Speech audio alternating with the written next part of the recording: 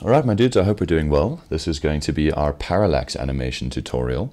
So we're going to be taking the file that we've now made in Photoshop and importing it into After Effects. Let's dive in and set this up. First things first, we're going to make a new composition. Standard HDTV 1080 25. Make sure your frame rate is set to 25 and our duration is going to be 5 seconds long. Alright, we'll say OK. And next we're going to bring in our file. So navigate to the file that you've made, assignment one assets, remember to change the import as from footage to composition retain layer sizes, and then say open. Now a new little window is going to pop up in After Effects and it's going to ask me, do I want to have editable layer styles or merged layer styles? We're just going to leave that as editable layer styles and we're going to say OK. All right, and that then makes our composition for us. Now, when we bring this in, we've got these bunch of viewing guides. I think these are the styles that it was talking about. So we're just going to come on up to view and we're going to clear our guides because we don't need those.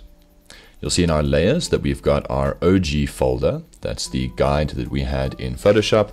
And if with that layer selected, you hit T, you'll see that its opacity is the same as it was set in Photoshop. So that's actually a style that comes across. So we can leave that as it is. Um, and in fact, we're going to leave this, let's take the opacity down to about 30% for today, just so we can use it as a guide without it getting too much in the way. Okay, we're also then going to lock our OG layer.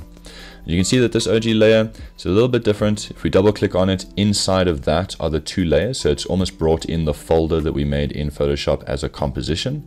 So we can still go in and interact with those two original images, but we don't need to. So we're going to leave them as they are. All right. The rest of my layers, what we're going to do here is we are going to select them all. So layers, um, well, all the layers, you might have cut them up into more layers than I have. So select everything else, all the Photoshop thumbnails that we see, and we're going to turn on this little option here that makes the layers 3D.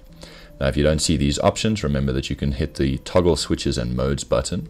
But we want to click on this far right little box here and it fills in with the wireframe of what a 3D cube would look like. And immediately what we can see is that we now have all these gizmos appearing on screen. So these little 3D interactable points, they are called gizmos, and they allow us to interact in three dimensions with our assets. Just to demonstrate, if I grab this front layer, for example, the green arrow, y-axis, allows you to move it up and down. Red arrow, the x-axis, allows you to move it left and right. And then of course the blue arrow that you can just see over here is the Z axis and that allows us to push this layer in 3D space. Now I recommend using these gizmos because if we just click and drag, if I kind of just take it and move it around, depending on what view I'm in, that can have very adverse effects on where I place this correctly. All right, so for now, just interact with the arrows to get them into the correct position. Okay, so what we're going to do now is we're just going to clear our workspace a little bit so that we can have more than one view. Working with the 3D view, kind of just looking at it from the front really doesn't do us any favors because we've got no point of reference for how deep in space these images are. So first things first, what we're going to do is let's close all these tabs over here on the right. So I'm just going to click on all their hamburger buttons and close them all.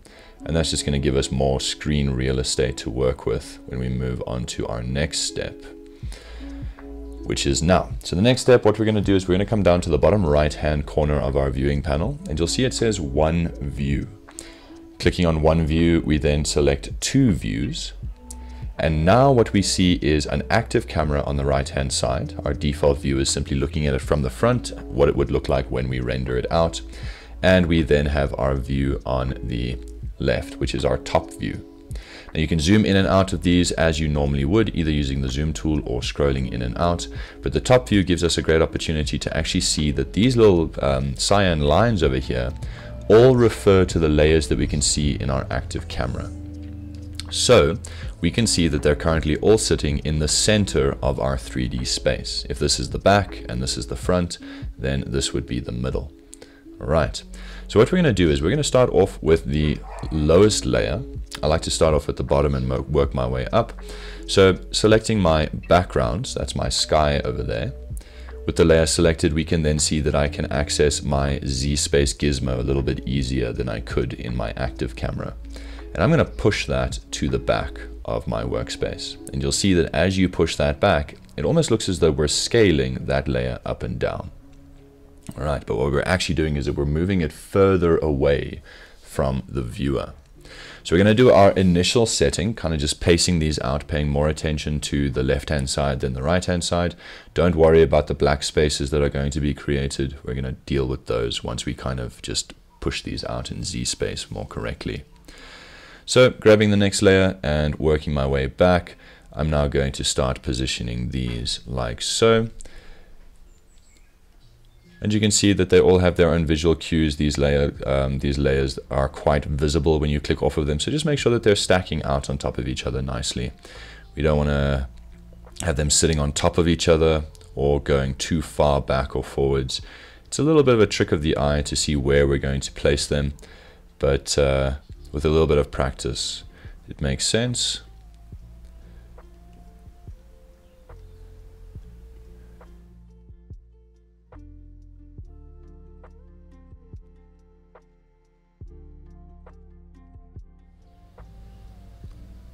Okay, now at some point you're going to get to a middle point. So for example, my middle point is not going to be the plant, so I'm going to go on to layer 6 for example. Layer 6 is that portion of mountain over there.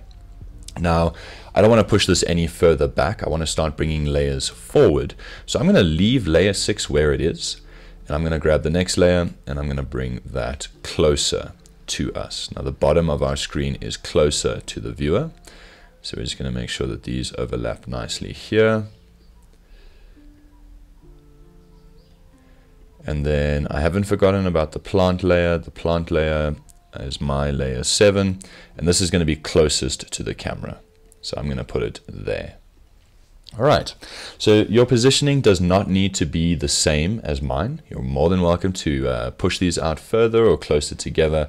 You're just going to end up with slightly different results from me, and that's perfectly fine as well. All right, as long as they're no longer sitting on top of each other and there is actual space between all these layers, this is then what we're left with looking at. Okay, now this view here is not necessarily what we're going to see in our final render. Let's come on over and click back to one view so we can zoom in a little bit. Now, we actually need to make a camera in order to correctly interact with these 3D layers. So we're going to come on up to Layer, New, Camera, and that's going to open up our camera settings. So after hitting Layer, New, Camera, we can now see this little uh, pop-up window here. There's two different types of cameras, single node and two node cameras. We're going to leave it on one node for now. You don't have to rename it. We don't have to change the preset. We're just going to be using the bog standard camera. So we're just going to say OK. And now you'll see that your view has changed slightly. And you can actually see that by just clicking the visibility of the camera on and off. And you'll see that those layers are being spaced differently. And that's because when we have a viewing camera that is turned on, it applies its camera effects to the 3D layers in the scene. There's a lot of different effects under the transform options as well as under camera options. And we're going to be going through some of those once we've correctly placed our layers. So the next thing that I'm going to do is just to make my life to work in this uh, scene a little bit easier. I'm working on a very small laptop. Is I'm going to just reposition my uh, timeline panel. So I'm going to hover over at the top of the timeline panel. You'll see by my mouse I get a little double white rectangle icon to the bottom right of it. That shows that I can reposition this window. So clicking and dragging, I'm just going to drop it on the left hand side of my viewing panel and then I'm going to squash these in on top of each other so that I just see the layer name. I don't need to see anything else right now. Um, we will be scaling some things up as we go. So in fact, let's actually just leave, let me grab a layer and see when we scale just enough space to see the three scale values. That's something else that's changed as well. There's now things such as scale, rotation, there are more options for these because we've got 3D objects. We'll be taking a look at them in a little bit more detail probably in the next tutorial. But just so you know, when you go into the transform option now, there's going to be a lot more options than we might be used to. Okay, so the next step now is because we've pushed them in Z space, and we've got an active camera, we now want to position them correctly on screen. Okay, so that just means grabbing our reference footage, so our OG layer. I'm going to turn off all of my layers over here except for the camera. Because the OG layer was not made 3D, this is still our a representation of our original image. And I'm going to use this as a guide to grab my layers and to move them roughly into the correct positions. Now, when we're closer to the camera, these objects are going to be larger. So that might make them a little bit difficult to place correctly. As we move further away from the camera, our objects are going to be smaller than they would have been. So again, we're going to be using this as a guide. And after that, we'll do a final refinement of scaling our layers to help fill in the gaps and then jumping back and forth between Photoshop and After Effects in order to fill in anything that we might have missed. Thankfully, the software does allow us to retroactively fix issues. So I'm going to speed through this. I'll see you guys on the other side.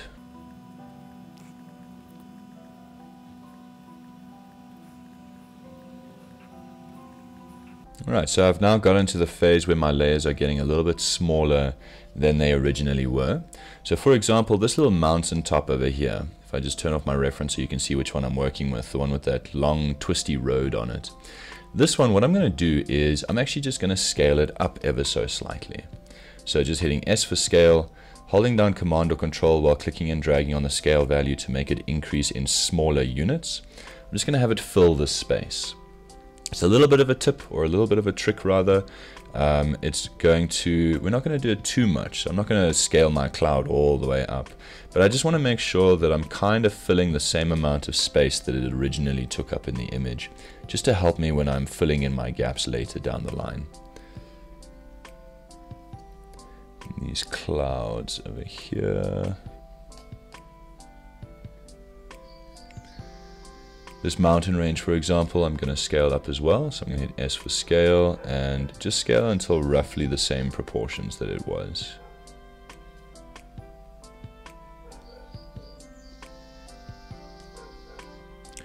Now this scaling is going to slightly diminish the effect that we initially, or that we're going to be working towards achieving, but it's going to benefit us in the long run because it's going to allow us to not have to paint in as much information. So we are still going to be going back and painting, but we're kind of just trying to mitigate the amount of effort that we need to go back to recreate.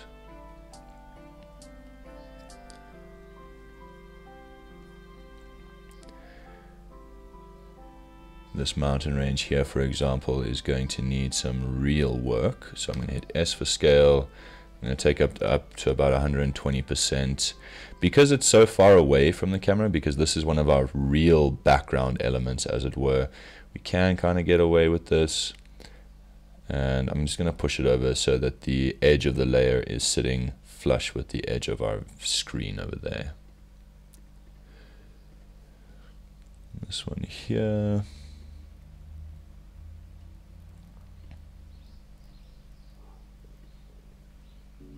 Roughly like that. I'm going to hit S for scale and take it up to 120% as well, just to help me fill that space. And then lastly, we have our sky. Now the sky, we're going to um, scale all the way up. So we're going to hit S for scale, and we're going to hit scale until it is filling up that screen like so. I just want a little bit of overlap off the top and to either side of it. And now if I turn on all my layers, you can see that we're filling our spaces with only few little gaps in between. One of those gaps is going to be a cloud here, so I just need to find where that is. Um, I can see that I'm going to need to do some deep edging on my, let's take that cloud over there to fill that hole. Let's take that cloud over there to fill that hole there. Okay, so I need to do some deep edging on my plants. This was definitely a rushed process, so I need to do some more cleaning up over there. Um, this back cloud over there, I'm just going to move down slightly. So this is now the phase where once again we're just refining what we've placed so far just to make our scene look a little bit more accurate. It no longer needs to look exactly like the reference footage. Now we're filling in the gaps. It's going to be our own scene slightly and because of the way the camera is going to work, it's not going to be that big a change to what we're doing. Okay, so Let's go ahead and now save, seeing as we've placed this up correctly. So just Command or Control Shift S, and I'm just going to call this tutorial, but you guys can save that as assignment one. Okay, now just to show you, I can jump across into Photoshop. I've got the file open here, and it's the exact same process of cross-play between Photoshop and After Effects as it was between Illustrator and After Effects. So as long as I do not create any new layers, and as long as I do not rename any of the layers that I have here, any changes that I make and overwrite to my save file will update in photo in After Effects I mean. So just to make a very clear one, let me grab this and with my brush tool, I'm going to just quickly paint out an area of information entirely. So if I jump into After Effects, that information is there. In Photoshop, it's now gone. As soon as I hit Command or Control S to overwrite that save, when I jump into After Effects, it's going to overwrite and that information will disappear. All right. I'm going to undo that and just override my save once again so that it re-updates. So this is going to now allow me to zoom in here, deep edge my plant a little bit more, and then uh, when I bring it into After Effects, I'm going to be able to then adjust further. There's a little bit of a hole occurring over there that I've just seen, and that's actually a very good point. The next thing that we're going to do as well is just turn on our little um, what's that patterned toggle transparency grid that's the word I'm looking for. I'm just going to turn that on and off and I'm going to look for any flashing areas that I can see that's like popping through the holes. It's really only this one down here so I'm just going to shift this layer across slightly to help me fill that space there. Okay so I'm going to do a quick deep edging of my plant and then uh, we'll continue from there. Alright, so I have deep edged my plant a little bit more, so that's looking a little bit better. And uh, it's updated now in After Effects. So, the next thing that we're going to do is we're going to bring our two views back up. So we're actually just going to go up to our window. Let's go to workspace and uh, we can just reset our default workspace just to get everything back to the way it was. I'll just quickly take a few seconds to close these down because now we're going to be working with actually animating our camera and we want to be able to see our timeline. We're also going to bring our two views back up so that we can see what our camera looks like interacting. Okay, so our camera is obviously this pink box over here and this pink triangle that is shooting out from it is its depth of field. So this is what it is seeing essentially. And with the camera selected in my top view, I can then move that back and forth by clicking and dragging on my Z space um, little handle. And you'll see that as we do that, our layers obviously interact with being closer or further away from the camera. So this is the effect that we're going to have. We're going to have it pulling out and possibly doing something to the side while it's going. Maybe we grab the Y orientation and turn it a little bit. So we're going to really try and highlight the fact that this camera is existing in a space. In order to do this, we are going to open up our camera options. We've got transform and camera options, so you can just open both of those up there. And to see what these do, we first have position. Now, obviously, position deals with where our camera is on screen. So the first value is our left and right axis. Our second value is up and down and our third value is Z in and out. A lot easier to work with the uh, handles for those. Then we have orientation. Now orientation is split into three different properties as well as X, Y, and Z.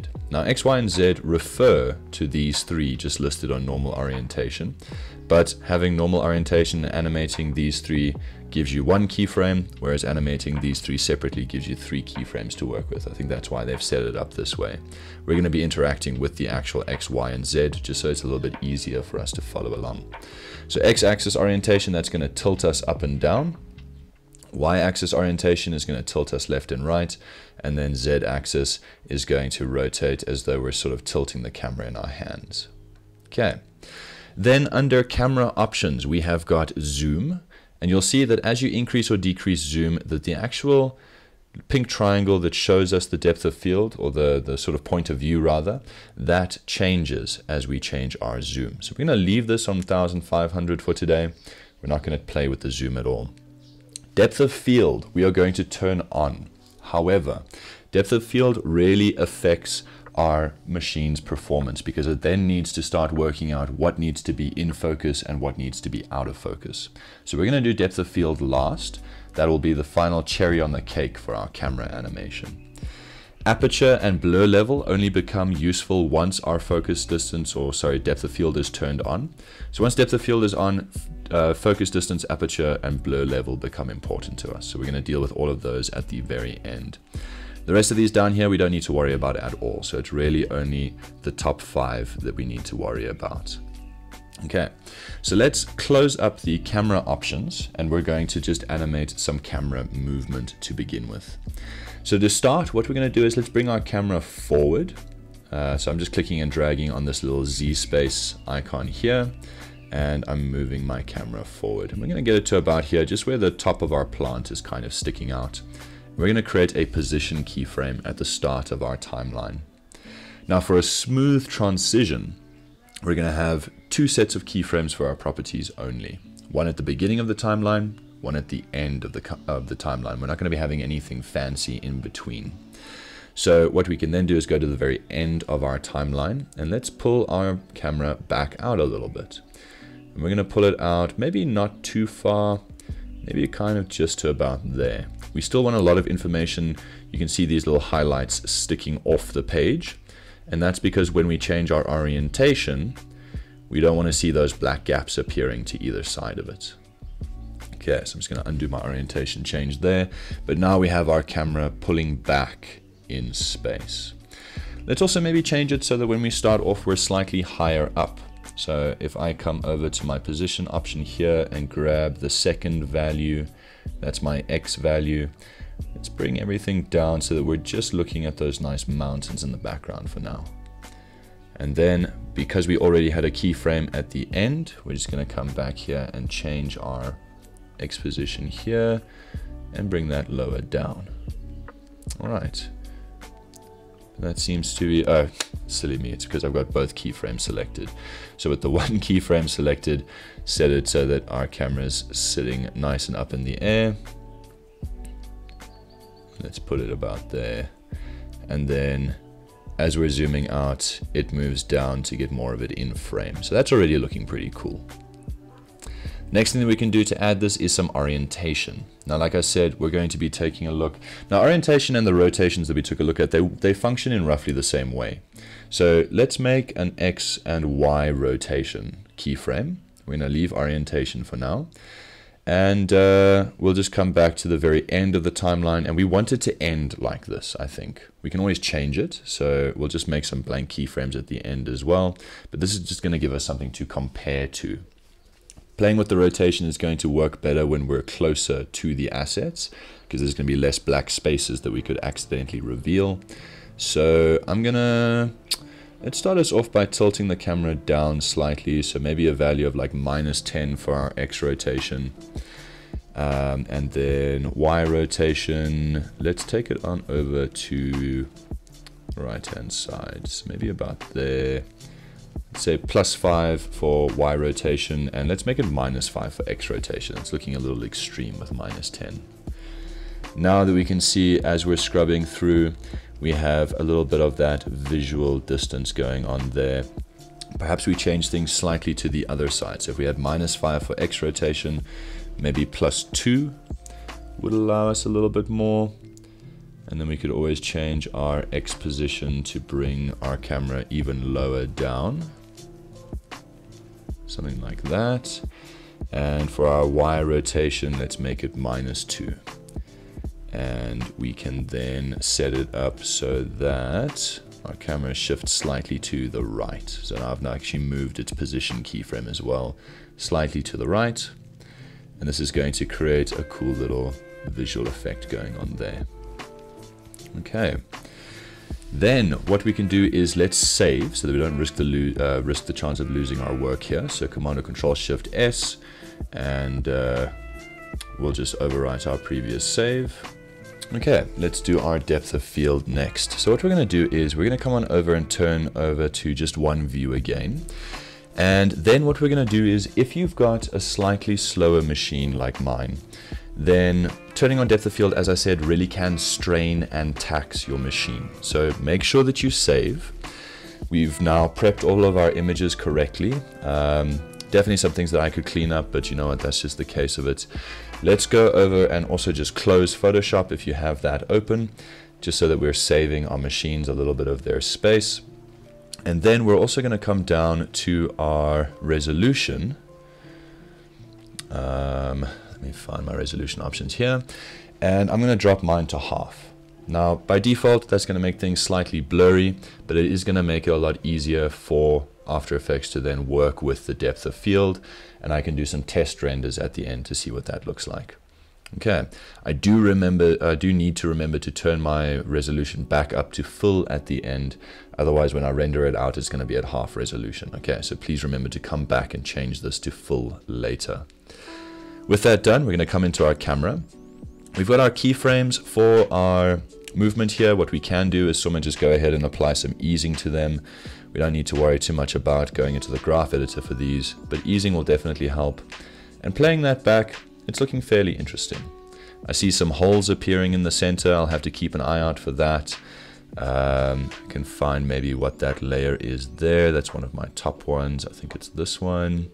Shift that over slightly. Scrub through. Make sure that there aren't any more holes appearing, but that seems to be about it. Okay. Going into our camera, we're then going to take a look at our camera options. And we're going to turn on depth of field and then we can come back and just grab two views again, just so that we can see the depth of field has now extended our visual triangle a little bit. This now lighter pink line that we can see visible is our depth of field. Anything inside these portions over here is going to be visible. Anything beyond that pink line is going to start then um, becoming a little bit blurred out. So we're going to go to the very end of our timeline and uh, just so that we can see more of our image. And we're now just going to play around with our focal distance. I'm going to push the focal distance out quite far. So maybe to about 1,000, let's make it 1,850 for now. And then aperture, we're going to pump up quite high. And blur level, we're going to leave at 100%. And you'll see if I pump the aperture up super high, so if you take aperture up to 783, notice how everything in the front is super blurry, while everything in the back becomes nice and clean. When I take that aperture down to 100, for example, my plants become more visible. So we want to find a bit of a sweet spot there.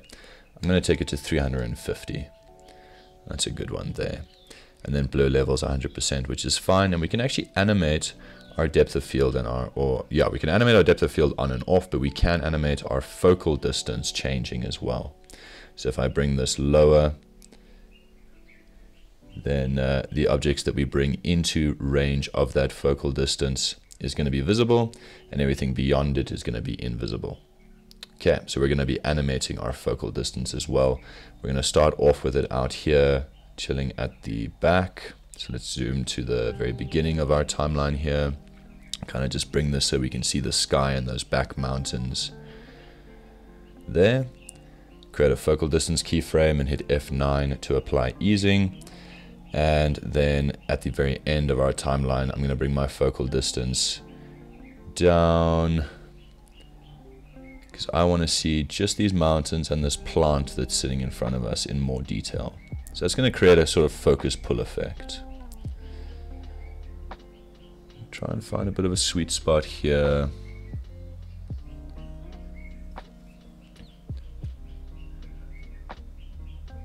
That's maybe a bit too intense.